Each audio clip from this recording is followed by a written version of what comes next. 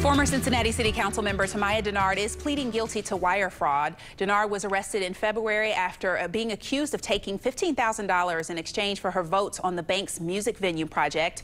She resigned from City Council shortly after that. She could get up to 20 years in prison and she will have to pay back the money.